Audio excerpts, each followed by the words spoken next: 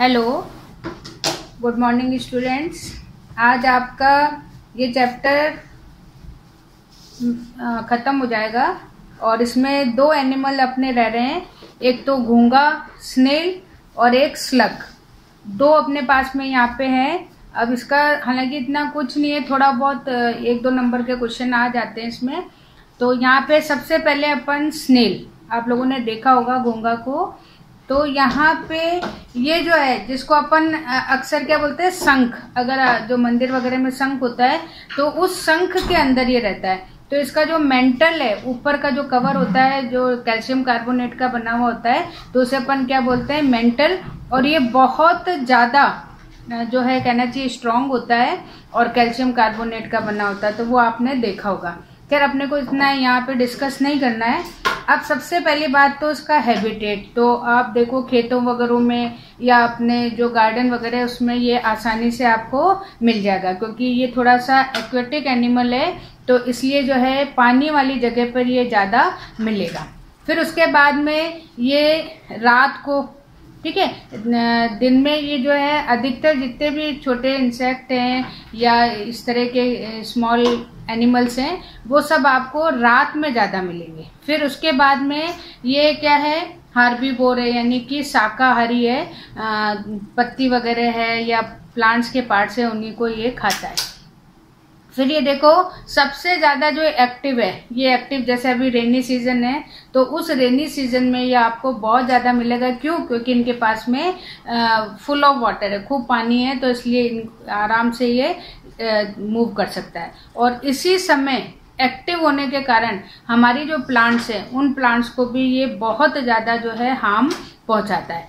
फिर ये देखो, अगर आप देखो तो आ, कभी आपने देखा होगा उसको उठा के तो उसके नीचे वाले हिस्से से ये पैर निकालता है जैसे फुट बोलते हैं और बहुत धीरे और अगर आप थोड़ा हाथ भी लगा के देखोगे तो बहुत स्लाइमी होता है बहुत चिपचिपा होता है ये तो उससे ये मूव करता है और बहुत धीरे धीरे ये चलता है तो यहाँ पे इसकी जो मूवमेंट है वो भी क्या है बहुत धीरे धीरे फिर उसके बाद में ये अभी मैंने आपको बताया कि हार्बीवोर होता है शाकाहारी होता है तो जो प्लांट्स हैं उन प्लांट्स की अधिकतर लीफ है स्टेम है, इन चीज़ों को ये बहुत ज़्यादा नुकसान पहुंचाता है।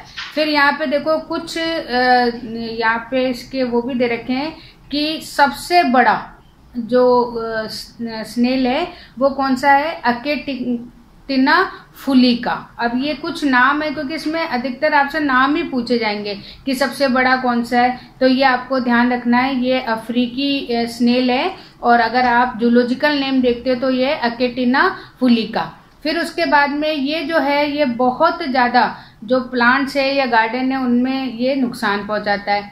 और जो कई अपने पास में वेजिटेबल है, जैसे मूंगफली है अब मूंगफली क्या होती है? ज़मीन के नीचे होती है तो अगर उसको डिस्ट्रॉय कर देगा तो प्रोडक्शन भी पूरा क्या हो जाता है? खराब हो जाता है। तो ये इस तरीके से जो है मूंगफली है सेम फली है सैतूत है मिर्च है इनमें बहुत ज़्यादा नुकसान पहुंचाता है। अब अगर अपन इसका वैसे थोड़े से कैरेक्टर देख लें तो ये कैरेक्टर कैसे हैं कि इसका जो बॉडी है वो बॉडी आपको आ, किसी में डिवाइड नहीं दिखेगी। अखंडित, यानी कि इसमें कोई भी आपको सेगमेंट्स वगैरह नहीं दिखेंगे। उसके बाद में अगर अपन सिमेट्री देखें, सम्मिति देखें तो वो भी असिमित है। कहीं से भी ना तो इसमें रेडियल मिलेगी, ना इसमें बाईलेटरल मिलेगी, कोई भी इसमें सिमेट्री नहीं मिलती। इसलिए इसको अपन क्या बोलते हैं ए या असिमित फिर उसके बाद में जो सबसे इम्पोर्टेंट है जिससे अपन देख के पहचानते हैं, कि इसके ऊपर एक कठोर आवरण होता है, बहुत बड़ा सा कठोर या जिसको आप कह सकते हो सॉलिड कवर होता है, जिसे अपन मेंटल बोलते हैं, और वो किसका हुआ होता है? कैल्शियम कार्बोनेट का। फिर उसके बाद में देखो, जो उसको पहचानने का आप इसकी और ये क्वेश्चन अक्सर आता भी है, इसमें वन पेयर ऑफ़ आइज़ होती हैं। वो तो चलो कोई वाली इम्पोर्टेंट वाली बात नहीं है, लेकिन जो आप ये फ़ोटो देख रहे हो, इसके जो टेंटिकल्स हैं, जो दो निकले हुए उनके बिल्कुल अपर पार्ट पे, जैसे कोई सर्च लाइट लगा रखी हो, इस तरीके से इसके टेंटिकल्स के ऊपर स्पर्शक के ऊपर आइज़ पाई जाती है। तो ये इसके लिए एक बहुत इंपॉर्टेंट कैरेक्टर है। फिर अगर अपन क्लासिफिकेशन देखते हैं तो फाइलम है वो मोलस्का है। अगर अपन क्लास देखते हैं तो गैस्ट्रोपोडा है। फिर अगर हम ऑर्डर देखते हैं तो पल्मोनेटा है। और फिर ये जीनस क्या हो गया? हेलिक्स। अगर हम साइंटिफिक नेम देखते हैं तो इसका जो वंश है या जो जीनस है, वो जीनस क्या है? हेलिक्स है। फिर उसके बाद में इसके जो है एक्सटर्नल कैरेक्टर हैं तो अब जैसे मान लीजिए कि हालाँकि ऊपर से तो बहुत कठोर दिख रहा है, लेकिन अगर आप अंदर देखोगे तो इसकी बॉडी बहुत ज़्यादा सॉफ्ट होती है, बिल्कुल कोमल सी होती है, और इसमें जो है किसी तरीके से जो है आपको अंदर की तरफ़ कोई भी चीज़ें स्पष्ट दिखाई नहीं देंगी। ठीक है? फिर उसके बाद में अगर अपन इसको, इसमें देखें इसका एनिमल निकाल के तो उसमें आपको हेड पोर्शन भी मिलेगा मेंटल पोर्शन भी मिलेंगे, कुछ फुट पोर्शन भी इसमें दिखाई देंगे। तो ये थोड़े से इसमें पार्ट दिखाई देते हैं, लेकिन वो सारे के सारे कैसे होते हैं? छिपे हुए होते हैं। फिर इसमें जो है टू पेयर जो है टेंटिकल्स के होते हैं और उसके जो पीछे वाले टेंटिकल के पेयर है, उस पेयर के ऊपर क्या होती है? आइज़ होती है। तो ये सबसे इंपॉर्टेंट अगर करेक्टर है तो वो यही है और वो और किसी में आपको मिलेगा भी नहीं कि टू पेयर यानी चार यहाँ पे स्पर्शक या एंटीना है और उसमें जो पीछे वाले बड़े हैं, उनके ऊपर क्या होती है? आइज़ होती है। फिर उसके बाद में अगर अपन इसकी इंटरनल देखें तो इसमें आपको जो सर्कुलेटरी सिस्टम है, जो परिसंचरण तंत्र है, वो कैसा मिलेगा? ओपन यानी कि यहाँ पे कोई हर्ट कोई वेन्स कोई वेसल्स वगैरह आपको नहीं मिलेगी। फिर अगर अपन रेस्पिरेशन देखते हैं तो ये गिल्स से करता है और इनके गिल्स को हम बोलते हैं टीनीडियम जो फ़िश में अपन गिल्स बोलते हैं, लेकिन यह यहाँ पर हम क्या बोलते हैं? टीनीडियम फिर उसके बाद में इसमें एक बड़ा सा पैर होता है, जिसे अपन, क्या बोलते हैं, फुट और ये मसल्स का बना हुआ होता है तो इजीली ये मूव उसे कर लेता है। फिर उसके बाद में देखो कि इसका जो मेंटल है, वो मेंटल इसी जो रीजन है, इसकी जो बॉडी है, उसी बॉडी के सिक्रीशन से बनता है। तो इसलिए ये इम्पोर्टेंट है। फिर उसके बाद में अगर हम इसको सेक्सुअल उसमें देखें तो ये बाईसेक्सुअल होता है, यानी मेल और फीमेल जो है, वो एक साथ ही होते हैं यहाँ पे। तो ये जो स्ट्रक्चर है, ये स्ट्रक्चर किसकी हो गई? आपके स्नेल की, या जिसको अपन जूलॉजिकल में क्या बोलते हैं? हेलिक्स अब उसके बाद में जो लास्ट टॉपिक है, और इसी से रिलेटेड है, बस थोड़ा सा अंतर है, इसमें ज़्यादा अंतर नहीं है। फिर है स्लग अब स्लग क्या है? स्लग पे मान लीजिए कि जितना स्ट्रांग और जितना लार्ज मेंटल स्नेल पे होता है, इस पे भी होता है, लेकिन कम होता है। तो ये सबसे मेन डिफरेंस है कि अगर आपके सामने मैं एक स्लग और एक स्नेल रख लूँ तो जिसमें बड़ा मेंटल है, वो तो आप कहोगे स्नेल है, और जिसमें है लेकिन छोटा है तो वो आपका क्या हो गया? स्लग हो गया। अब यहाँ पे भी देखो कि ये भी आपको अधिकतर जो खेत वगैरह होते हैं गार्डन वगैरह होते हैं, उनमें मिलेगा। ये भी जो पानी वाली जगह है, वहाँ पे आपको अधिकतर मिलेंगे। ये भी मतलब सारी चीज़ें लगभग सेम है कि ये भी रात में आपको ज़्यादा एक्टिव मिलेंगे और बहुत सारा जो ये भी फ़सलों को या क्रॉप्स को नुकसान पहुंचाते हैं। अब यहाँ पे कुछ एग्जाम्पल्स हैं जो अक्सर पूछे जाते हैं। एक है ब्लैक स्लग जिसका साइंटिफिक नेम है लेबिकोलिस एल्टे ये सारी फ़ोटो मैं आपको भेज रही हूँ। ये जो है सबसे ज़्यादा नीम। अब आप सोचो, नीम पे कौन इन्फेक्शन कर सकता है? तो ये जो है इसलिए स्पेशल है क्योंकि नीम जैसे प्लांट है, उसको भी इन्फेक्टेड कर देता है। उसके अलावा ये पान जो अपन खाते हैं, उस पान के प्लांट्स पे भी ये इन्फेक्शन करता है, इसको खा के खत्म कर देता है।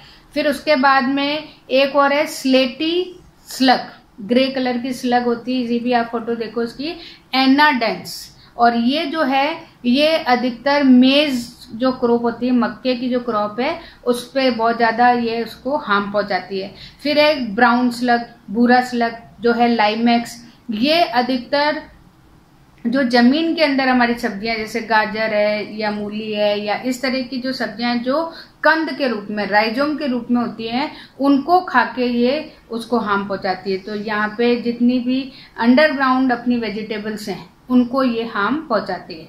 फिर उसके बाद में अगर अपन इसकी आइडेंटिफिकेशन तो एक तो आइडेंटिफिकेशन आपको मैंने बताई दी कि इस पर मेंटल क्या होगा? कम होगा। बाकी इसकी जो बॉडी है, वो बहुत ज़्यादा लंबी, पतली और बिल्कुल स्पाइसी वो सॉरी स्लाइमी आपको मिलेगी और अगर आप उठाओगे भी तो ये बिल्कुल गिर जाएगी क्योंकि हर समय इसमें से जो है लसलसा सा या स्लाइम जैसा जो प्रोडक्ट है वो निकलता रहता है। फिर यहाँ पे अगर आप क्लासिफिकेशन देखते हो तो वही है मोलस्का है गैस्ट्रोपोडा है पल्मोनेटा है और लाइमेक्स है। अब यहाँ पे देखो, इसके भी कुछ कैरेक्टर्स अपन कर लेते हैं कि इसमें इसका जो बॉडी है वो लंबा है, लेकिन उस पर जो मेंटल है वो नहीं के बराबर है। फिर अगर हम देखें तो ये आगे से थोड़ा सा हमें ब्रॉड मिलेगा चौड़ा मिलेगा लेकिन पीछे की तरफ़ ये बिल्कुल निकोला या पतला सा आपको दिखाई देगा। फिर इसके बाद में इस पे भी टू पेयर्स आपको जो मिलेंगे टेंटिकल्स मिलेंगे और वो कैसे होंगे? अनकॉन्ट्रेक्टाइल यानी कि वो सकुंचल सील या आ, मतलब सिकुड़ और वो नहीं हो सकते। फिर उसके बाद में इसमें भी जो पीछे वाली है, वो टेंटिकल्स उनके ऊपर क्या होता है? आइज़ होती है। फिर ये भी क्या होते हैं? बाइसेक्सुअल होते हैं, रात को चलते हैं, रात को निकलते हैं, और ये भी हाथ भी बो रहे हैं क्योंकि वेजिटेबल वगैरह खाते हैं। और उसके बाद में अगर आप इसकी बॉडी स्ट्रक्चर से देखते हो तो इसका जो नीचे वाला भाग है, वो बिल्कुल कैसा होता है? चपटा होता है। अगर ये उल्टा पड़ा हुआ हो तो ये बिल्कुल जैसे अपने आलू का छिलके होते हैं, उस तरीके से ये आपको दिखाई देगा। तो इस तरीके से जो है, ये बिल्कुल चिपचिपा सा रहता है और जैसे जोंक जो होती है, लीच उस तरीके से अगर आप टेंटिकल्स इसके हटा दो तो ये बिल्कुल कैसे दिखाई देता है? लीच या जोंक की तरह। तो ये आज आपका चैप्टर यहाँ पे कंप्लीट हो गया है। अब आपका केवल एक चैप्टर बच रहा है। फोर्थ चैप्टर वो नहीं, एक वो हनी बी वाला भी बच रहा है। तो फिर कल मैं आपका हनी बी वाला जो है चैप्टर वो स्टार्ट कराऊँगी। फिर थोड़ा सा अपना इस मंथ में कंप्लीट हो जाए तो फिर अपन इसका रिवीजन स्टार्ट करेंगे।